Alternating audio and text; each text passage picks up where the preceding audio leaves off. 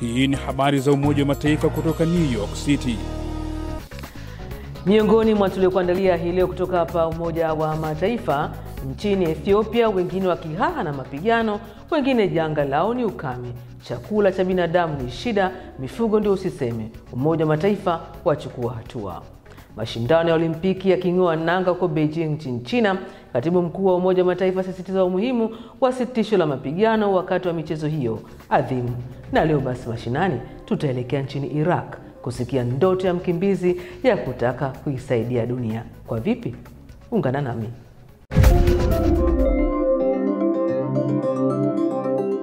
Nami ya Alhamisi ya tarehe tatu mwezi Februari mwaka 2022, nami ni Asumta Masoi ni kukaribisha katika habari za UN kutoka hapa makao makuu ya Umoja wa Mataifa nchini Marekani. Karibu basi tuanze uchambuzi wa habari ambazo tumekuandalia siku ya leo.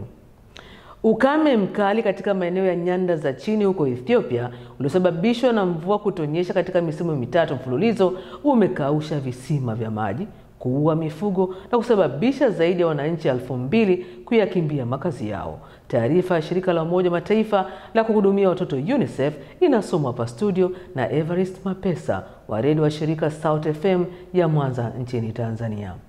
Video ya shirika la Umoja wa Mataifa la kuhudumia watoto UNICEF ikionyesha kambi ya wakimbizi wa ndani ya Aralias kwenye jimbo la Somali nchini Ethiopia, eneo ambalo ni makazi ya takriban watu elfu mbili, wanaume, wanawake na watoto walioathirika na ukame.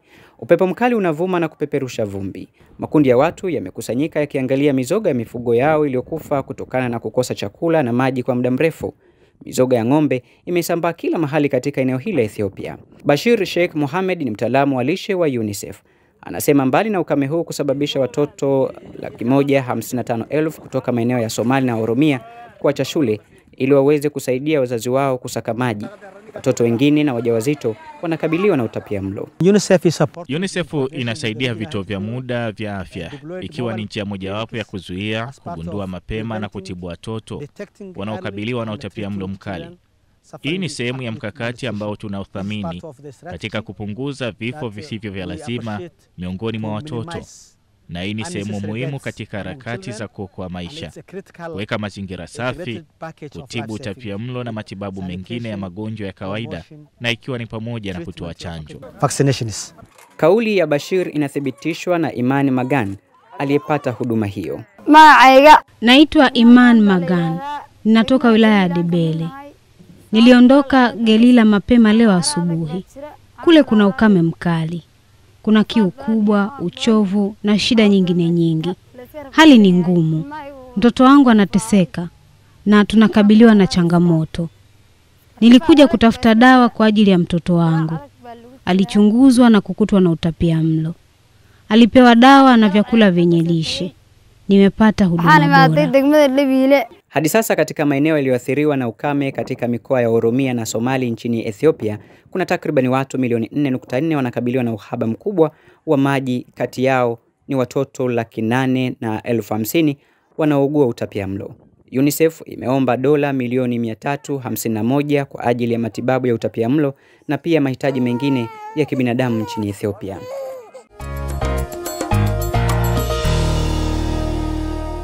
Wakati Ethiopia ni ukame, sasa naelekea huko Mashariki ya Kati ambako kuna janga la baridi kali. Shirika la Umoja Mataifa la kuhudumia wakimbizi UNHCR linaendelea kufanya kila jitihada kuwasaidia wakimbizi na raia wa Lebanon ambao wanakabiliana na mmoja ya misimu yenye baridi kali zaidi kushuhudiwa katika kipindi cha miongo kumi, huku theluji ikidondoka katika maeneo ambayo hayajashuhudia theluji kwa muongo mmoja. Taarifa ya Arnold Kayanda inaeleza zaidi.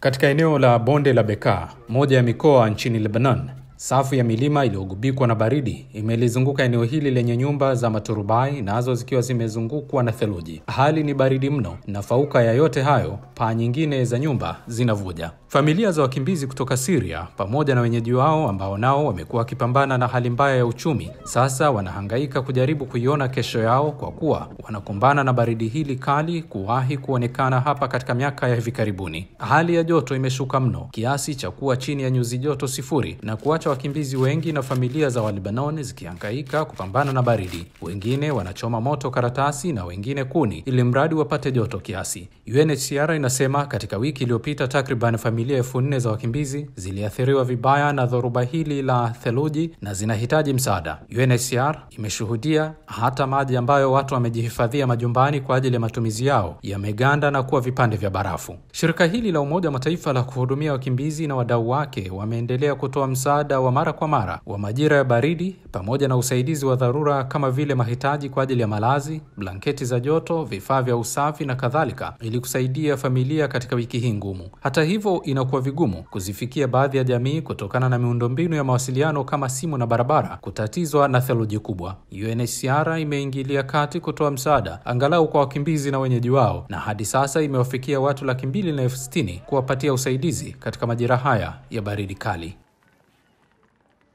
Basi hapo baadaye ni mashinani, ambapo tutamsikia mkimbizi wa Syria aliyeko nchini Iraq mwenye ndoto za kuwa daktari mkubwa duniani. Usibanduke. Baada ya siku ndefu ya mihangaiko na misukosuko ya kujitafutia riziki, baada ya pilikapilika na safari za hapa na pale, baada ya msongo wa mawazo kuhusu hali ya maisha, sasa muda umewadia. Ni habari za UN, habari za Umoja wa Mataifa kuhusu amani, usalama, maendeleo, haki za binadamu, siasa na uchumi. Hali kadhalika makala kuhusu malengo ya maendeleo endelevu SDGs au ajenda 2030.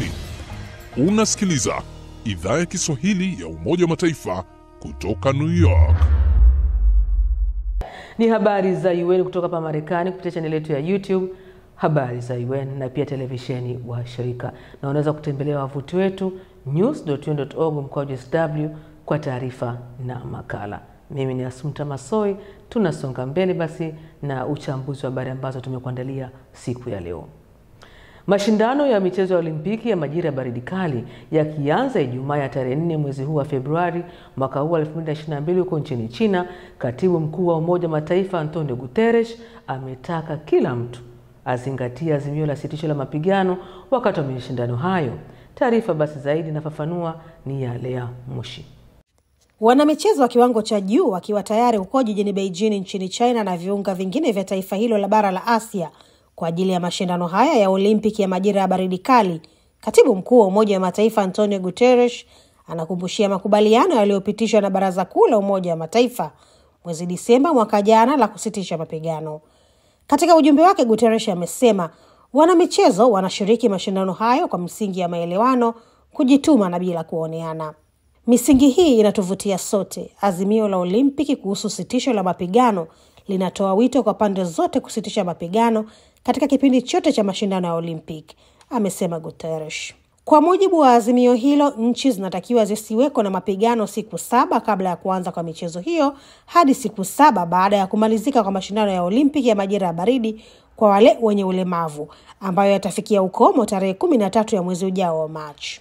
Katibu mkuu amesema mapigano yakisambaa na mivutano ikiongezeka, ombi la sitisho la mapigano linatoa fursa ya kumaliza tofauti na kusaka njia bora za amani ya kudumu. Tunavyohaha kutokomeza janga la COVID-19, hebu na tuungane kwa mustakabali salama zaidi wenye ustawi na endelevu kwa kila mtu. Natoa wito kwa kila mtu kuzingatia mkataba wa Olympic wa sitisho la mapigano wakati wa mashindano ya Olympic sambamba na yale ya walemavu.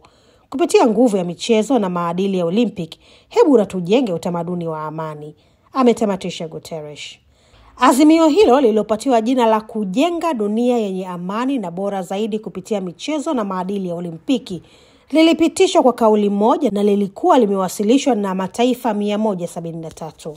Naam, na sasa ni mashinani ambapo tutamsikia binti Sara, mkimbizi huyu kutoka siria ambaye kwa sasa anaishi na kusoma chuo kikuu nchini Iraq, akieleza ndoto zake za kutaka kuwa daktari mkubwa wa upasuaji duniani. Mimi ni mwanafunzi wa udaktari. Nimechagua taaluma ya utabibu kwa sababu ni taaluma ya kibinadamu yenye lengo la kuokoa maisha ya binadamu, na mimi napenda kumsaidia kila mtu, hususani watoto. Ndoto yangu ni kuwa daktari mkubwa wa upasuaji. Nataka kuwa daktari mwenye mafanikio duniani, kuwasaidia watu wote, wagonjwa wote. Nataka kuwa kizuizi cha magonjwa kwa binadamu. Kama unavyojua, kusomea utabibu ni ghali sana. Kwa hiyo bila ya kupata ufadhili wa masomo, nisingeweza kuwa na uwezo wa kufanikisha masomo yangu. Hongera sana Sara, na kila la heri kwenye masomo yako na pia kutimiza ndoto yako ya kuwa daktari. Basi nami hadi hapo sina budi kuweka nukta katika habari za Igweni hii leo hadi hapo kesho, lakini waweza kutembelea wavuti wetu news.un.org mkwaju sw kwa taarifa nyingine mbalimbali mbali. Na pia tafadhali subscribe channel yetu ya YouTube habari za UN na huko Twitter rambaza habari za UN. Basi kwa niaba ya wote waliofanikisha habari za UN siku ya leo, mimi ni Asumta Masoi na kutakia amani na kwa heri kutoka Umoja wa Mataifa. Kwa habari za kimataifa na mashinani, tembelea news.un.org mkwaju sw.